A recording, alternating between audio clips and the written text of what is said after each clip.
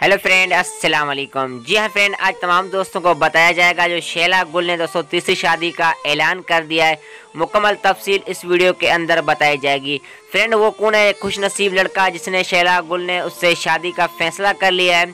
Friend, मुकम्मल तफसील इस वीडियो के अंदर बताई जाएगी। वीडियो में मजीद आगे बढ़ने से पहले मैं छोटी सी गुजारिश करना चाहूँगा। वीडियो को लाइक कर देना।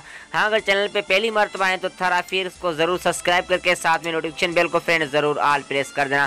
फ्रेंड, शैला गुल को आप जानते होंगे, दोस्तों, ये तारीफ़ की मोहताज नहीं, एक बहुत बड़ी आर्टिस्ट है, जिसके दोस्तों कई मिलियन इसके फॉलोअर हैं। फ्रेंड, पहले इसकी शादी हुई थी दोस्तों काशिफ आकानी से। दोस्तों, इसने क्यों काशिफ आकानी को तलाक दी? दोस्तों, इसकी तलाक क्यों हुई? इसकी डिवोर्स क्यों हुई है? दोस्तों, आप दोस्तों को वो मुकम्मल प्रूफ इस वीडियो के अंदर नहीं बता सकता। काफ़ी सारे लोग इसमें बैड कमेंट करेंगे। किसमें कुछ वजूहत ऐसी हैं जो तमाम दोस्तों को इस वीडियो के अंदर नहीं बताई जाएगी?